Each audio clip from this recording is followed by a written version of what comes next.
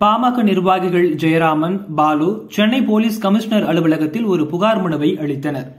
பாமக நிறுவனர் ராமதாஸ் மதுபாட்டிலுடன் இருப்பது போன்ற ஒரு போட்டோவை சமூக வலைதளங்களில் வெளியிட்டு அவதூறு பரப்பி வரும் விடுதலை சிறுத்தை நிர்வாகி கவிகண்ணா காங்கிரஸ் நிர்வாகி ராமசுகந்தன் மீது நடவடிக்கை எடுக்க வேண்டும் என புகாரில் வலியுறுத்தியுள்ளனர்.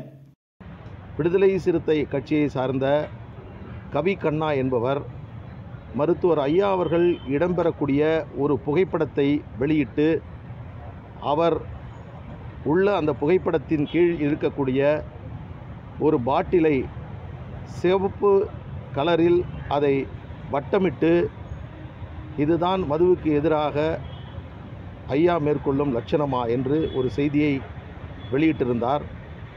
மறைந்த காங்கிரஸ் இயக்கத்தினுடைய தலைவராக இருந்த வாழப்பாடி ராமமூர்த்தி அவர்களுடைய மகன் ராம சுகந்தன் என்பவர் அந்த செய்தியினுடைய உண்மை தன்மை என்ன என்பதை அறிந்து கொள்ளாமல் அரசியல் காழ்ப்புணர்ச்சியின் காரணமாக மருத்துவர் ஐயா அவர்களின் நற்பெயருக்கு களங்கம் விரைவிக்க வேண்டும் என்ற உள்நோக்கத்தோடு திட்டமிட்டு கவிக்கண்ணா வெளியிட்ட அந்த புகைப்படத்தை அவரும் தனது ட்விட்டர் பக்கத்தில் அதை பகிர்ந்திருந்தார்.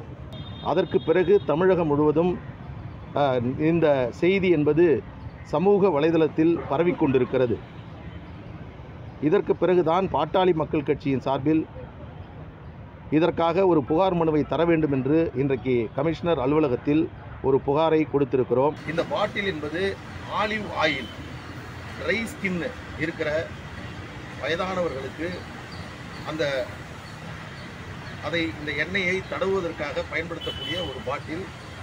இந்த பாட்டில் கீழே இருக்கக்கூடிய சிவப்பு வட்டமிட்டிருக்கக்கூடிய பாட்டில் தான் இந்த பாட்டில்.